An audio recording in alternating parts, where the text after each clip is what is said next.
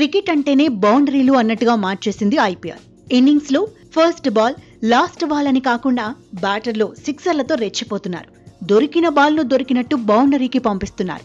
దీంతో ఒక్కో మ్యాచ్లో యావరేజ్గా పది నుంచి ఇరవైకి పైగా సిక్స్లు వస్తున్నాయి. ఇక భారీ హిట్టర్లైతే లెక్కకు మించి సిక్స్లు బాధిస్తున్నారు. సాధారణంగా ఐపీఎల్లో లాస్ట్ ఓవర్ చాలా ఉత్కంఠగా సాగుతుంది.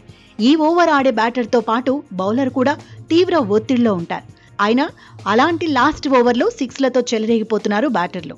చివరి ఓవర్లో ఎక్కువ సిక్సర్లు బాదిన ఆటగాడిగా CSK captain Mahendra Singh Dhoni రికార్డులోకెక్కాడు.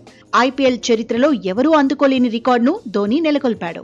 Innings చివరి ఓవర్లో ధోని ఇప్పటి వరకు రికార్డ్ స్థాయిలో యాభై ఏడు సిక్సర్లు బాదాడు. ఇక ఆ తర్వాతి స్థానంలో ముప్పై ఏడు సిక్సర్లతో పోలార్డ్ ఇరవై ఆరు సిక్సర్లతో రవీంద్ర జడేజా ఉండగా హార్దిక్ పాండ్యా ఇరవై ఐదు రోహిత్ శర్మ ఇరవై మూడు సిక్సర్లు కొట్టారు.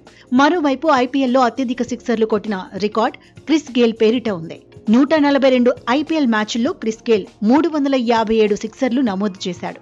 ఆ తర్వాత ఏబిడి రెండు వందల యాభై ఒక్క సిక్సర్లు రోహిత్ శర్మ రెండు వందల నలభై ఐదు ధోని రెండు వందల ముప్పై ఐదు కోహ్లీ రెండు వందల ఇరవై ఏడు సిక్సర్లు బాదారు. తాజాగా రాజస్థాన్ రాయల్స్తో జరిగిన మ్యాచ్లోనూ ధోని విధ్వంసం సృష్టించాడు. పదిహేడు బంతుల్లో మూడు సిక్సర్లు ఫోర్ సాయంతో ముప్పై రెండు పరుగులు చేశాడు. క్రీజ్లో కూల్గా కనిపించే ధోని మ్యాచ్ ఫినిషర్గా ఫేమస్ అయ్యాడు. లాస్ట్ బాల్ను విన్నింగ్ షాట్గా మలిచి సిఎస్కే కు విజయాలను అందించాడు.